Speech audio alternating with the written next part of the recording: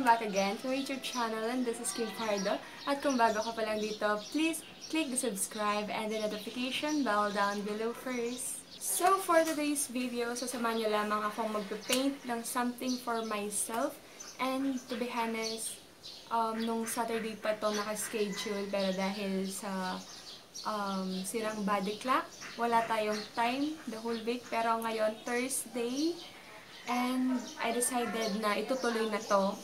Gagawin ko na siya. At dahil wala pa akong canvas, wala pa yung mga in-order, sa plywood muna ako ngayon. Ito naman ay size niya is 17.5 inches by 13.5 inches.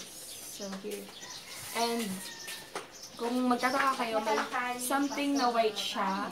Nilagay ko lang yan kasi ano, hindi siya pantay sa may part na mga ganyan. I mean, may mga buto siya, ganun. And, um, ito pala hindi yan pintura. Ito yung parang semento na nilalagay sa pader pag finishing na yung bahay.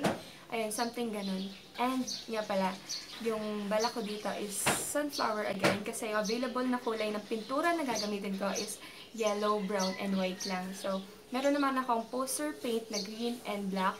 Siguro optional na lang yon kung may something na pwede akong ilagay pa dun sa banda ng sunflower na yun. Yan, sunflower and name ko sa gitna na calligraphy lettering. So, yun. Umpisa na natin.